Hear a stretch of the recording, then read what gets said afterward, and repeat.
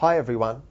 In today's lesson, we're looking at the archaeological evidence of Pompeii and Herculaneum, and we'll be looking at the cities themselves. We have a wide variety of sources for studying Pompeii and Herculaneum. We have archaeological evidence and written evidence about these cities. The archaeological evidence is the two cities themselves. We have a large amount of archaeological evidence. No other archaeological site in Italy reveals so much about life in Roman times. Because what you have is two cities that were destroyed in a volcanic eruption, and nobody knew about them for 1500 years. Over 1500 years, they were just covered and lost to the world.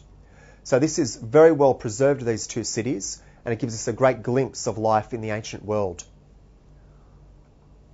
In Pompeii, the city was hit with many pumice stones over a period of 18 hours, and after this, it was a pyroclastic surge. This pyroclastic surge covered the city in about four to six meters of volcanic ash and debris, and Herculaneum was actually covered in about 20 meters worth of debris. In this picture, we can see what it might have been like at the time of the eruption. You have Mount Vesuvius spewing out all of this material. And this would have been going on for 18 hours. Massive amounts of material would have been coming out of the volcano. And down here, you have the city, all the innocent people. They're not even sure what's going on. The word volcano didn't even exist in ancient Rome. So they wouldn't have even fully known what was going on. The pyroclastic surge that hit Pompeii caused fires which burned things such as timber.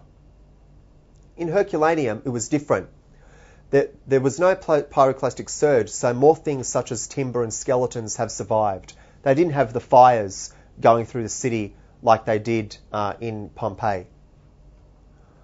In Pompeii and Herculaneum, there is evidence such as large public buildings made from stone, bricks, and tile, remains of unborn babies, the remains of aqueducts which were used to bring water into the city evidence of furniture, paintings on the walls, mosaics. A mosaic is like a painting.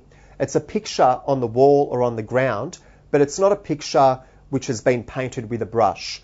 A mosaic is a picture where they have coloured stones and they put the little coloured stones in the wall or on the floor. So it creates an image, it creates a picture, but it's not like a painting with brushes.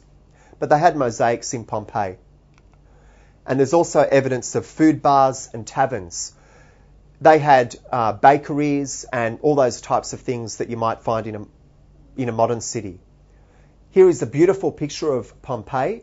You can see the stone, the stones on the ground and the raised footpaths and the ruins of the buildings on each side. And you can see how narrow the streets are, but it's quite a good, well-made street.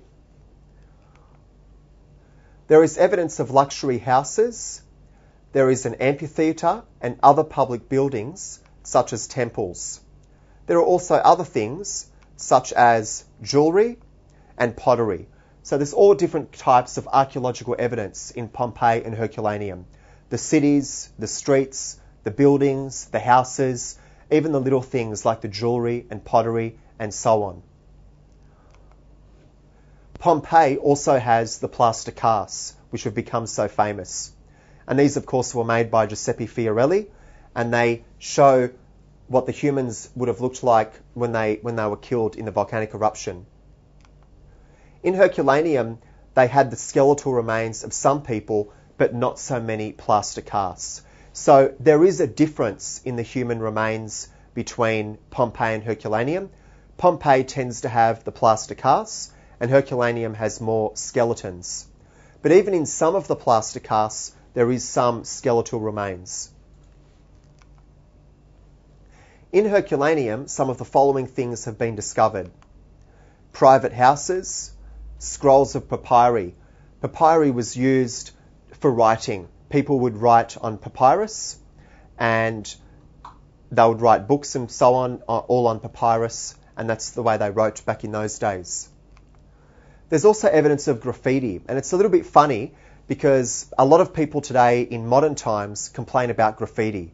And you hear people on the radio or on TV complaining about graffiti and young people doing graffiti. Well, guess what? This is an old problem. 2,000 years ago in Pompeii, you had graffiti. And it's amazing to read some of the graffiti and uh, learn about the people of Pompeii from their graffiti. There's also skeletal remains of humans and animals. There's tools and work equipment, and shops and workshops.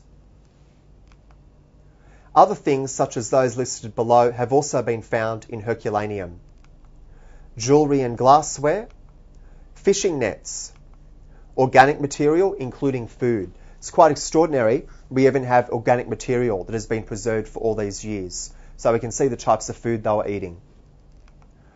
And they have mosaics and frescoes, and also cooking equipment. In this picture, we can see Herculaneum. So there's the city itself, some of the remains of the city, and then you have these modern buildings in the, ba- in the background. But because these cities were buried for over 1500 years, the cities themselves, their buildings, uh, the, the furniture, the jewelry, all these things have been so wonderfully preserved. And it's through all these all this that we can learn so much about the people who lived in those times. It's this archaeological evidence that has been able to teach us so much about these people.